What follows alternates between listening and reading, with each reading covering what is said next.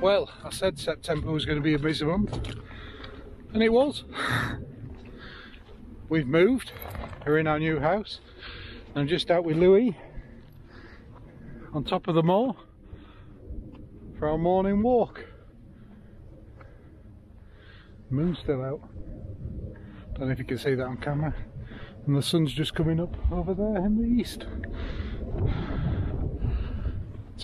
Anyway, we're all in, we're all happy. Really pleased with the house, love the location. It's not a bad spot for a morning walk, is it? And then on the following Monday, we got a new addition to the family. Oh yeah, she comes on the morning walk. Rosie, hello. Say hello to everybody. Is it nice and warm in there? Is it? hello, darling. And she's just been incredible. Toilet training hasn't really been an issue at all. She loves chewing, being a puppy and teething. But apart from that, oh, you're beautiful. She sleeps most of the night, so we go to bed about half past nine, ten o'clock. And then uh,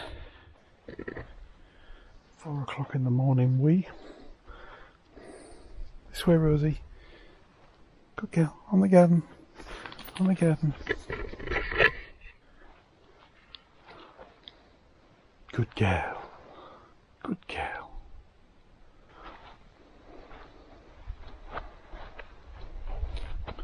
Good girl. She's done really well considering we went to bed at half past nine, quarter to ten.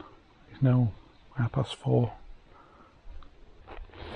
She wakes me up about half past three, four o'clock. Goes for a wee in the garden and then back to sleep till about six o'clock, which is ideal for us. It's and you, Louis, usually out early.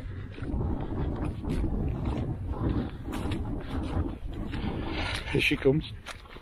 Hey, you come for a look around? You come for a look around, Rosie? Have you? Hmm? Say hello to people on camera.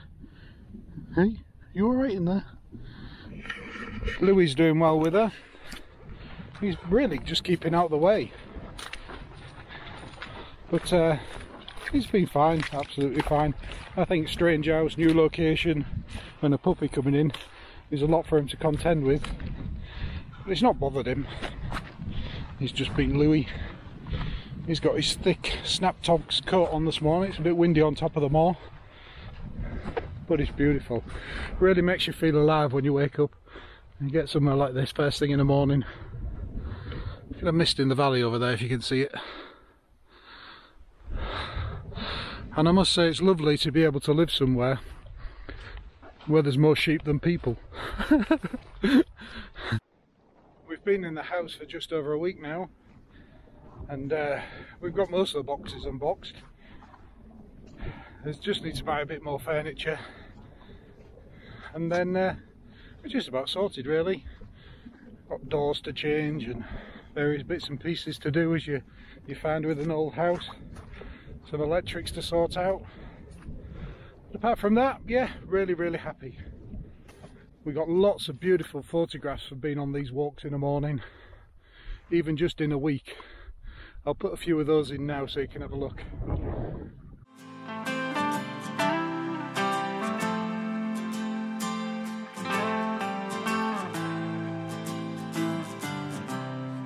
Looking up at a tree, I remember how it started.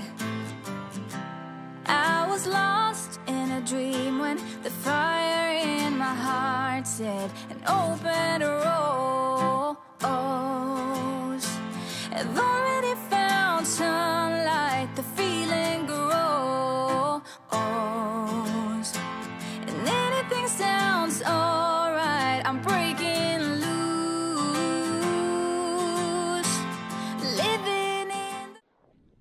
This wax Barbour jacket has got poacher's pockets inside and it's just big enough for a nine week old whippet. Isn't it Rose, eh? And when your ears get cold you can snuggle in. She's lovely and warm, she's like an hot water bottle. But as you can see she's teething at the moment so any opportunity to chew anything So we've had to puppy proof the house. But isn't she adorable?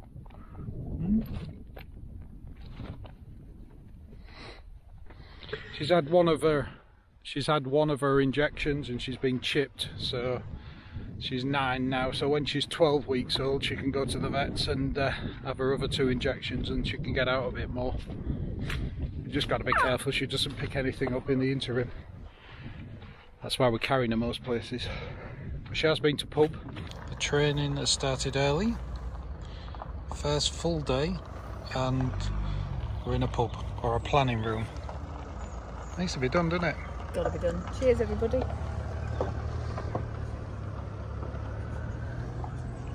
Surrounded by whippets.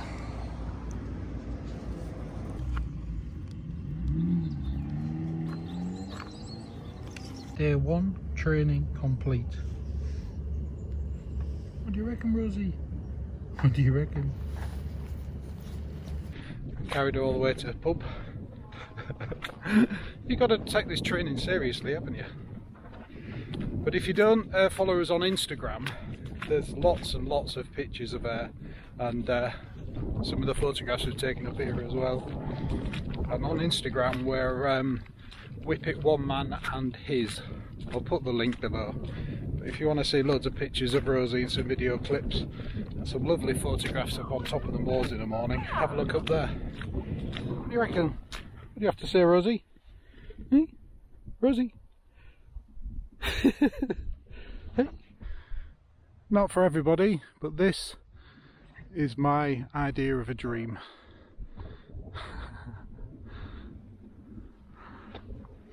I've been coming up to the North York Moor since I was a kid.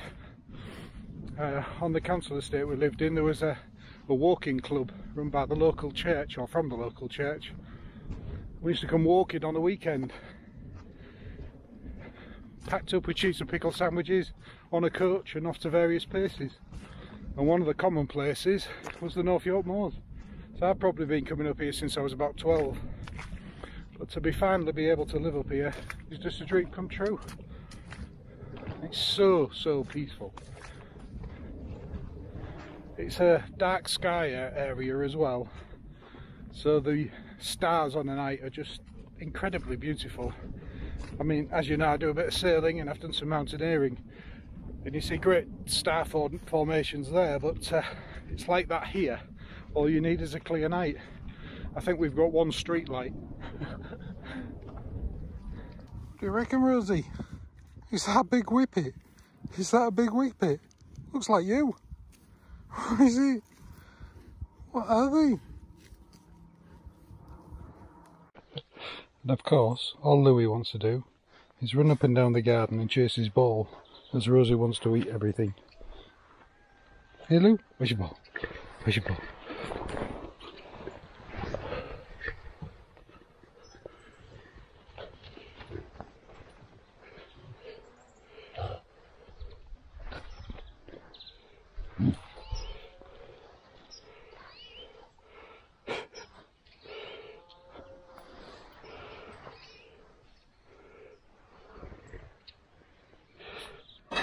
Some little girl likes her food.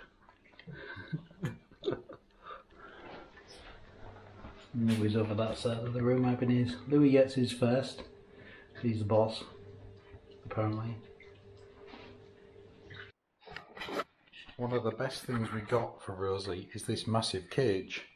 And it's on wheels, so it's on casters, so you can wheel it about. It comes with a, a lifting lid but we don't really need that. She's obviously tiny. Um, lovely latches on there.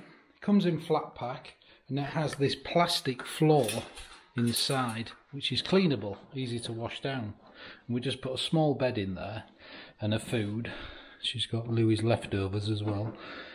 But uh, she likes it in there and we can use this as like a playpen. So it was delivered in flat pack. You have to screw the wheels on yourself. There's a few bolts you have to put in the corners as you unfold it. But it's been a godsend really. It's like a playpen for Rosie.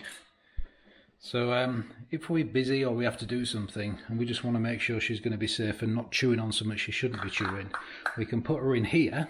She's got plenty of room.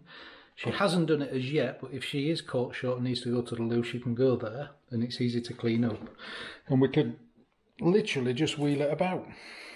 I'll put the link in the description below where we got it from and the company we got it from. It wasn't expensive at all considering the quality of it. We do have crates that uh, we've had for Louis and Ben, but nothing of this size. And it's just great. We just move it around the kitchen, it wheels into the living room. And um, when the weather's good, we can even put it in the garden. And It's just a safe environment for her to be in, where we know she's got some room, she's got some comfort in there. And um, she quite likes it as well. She's often asleep, snoring in there. Yeah, all those bowls wasn't full of food. She'd like them to be though. I'll do a separate video about what we feed in her, what food and what treats we're using. Um, but we'll do that in a later video. She's not used to wearing that collar. We've put that on just for ease, just to have a long training lead on her so we can grab the training lead if we need to. But that cage is just brilliant. And there's a, there's a slot in here so you can actually slot the, the uh, trays out and um, there's a metal grid that fits in there as well and the quality of it it is excellent really is good quality and it comes in a flat pack which is about this size it's about six inches in a cardboard box and it literally takes I don't know two minutes to put together really simple you put bolts through these holes here and we've only put them in at the top loosely just to hold it together but there are bolts that go in each corner and we haven't even used them all and as I say, we don't really need the top on it. We've just put it on because it come with it. We're actually using it as a shelf when we pack it in the corner. It sits in that corner of the room and all this stuff here is what I've taken off it. and uh, if we need to quieten her down, we've got this big brown blanket and we just literally lay this over top and cover it up to make it a darker area for her. And when she's had a mad run about, or when she's had a meal and after she's been in the garden, she'll sleep it off in there. Don't you, Louis? Don't you, Louis? Don't you, Rosie? Don't you, Rosie? Don't you? Are you beautiful? Are you beautiful? Hmm? we don't keep her in there um, and leave her in there. Um, if we did, we'd take a collar off. We wouldn't have a harness on or a collar so she didn't get caught in anything. But there's very little for her to get caught into.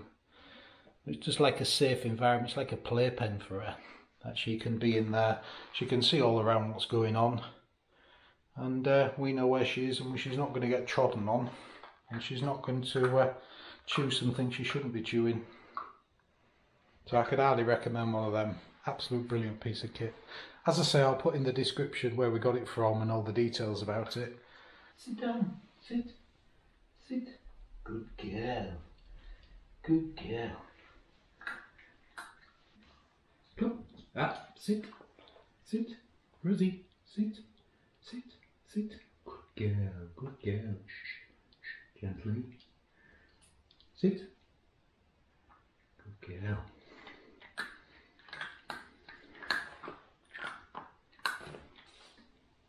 Sit down. There's a good girl. Good girl. Sit. There's a good girl.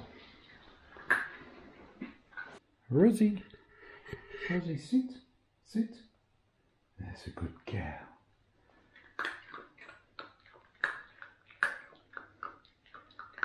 Rosie, sit.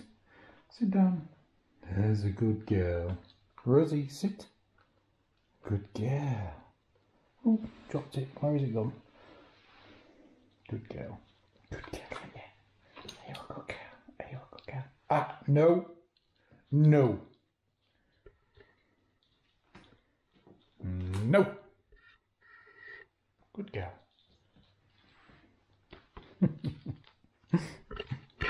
Don't eat the camera. Hello, Rosie. Hello. What do you think to the beach?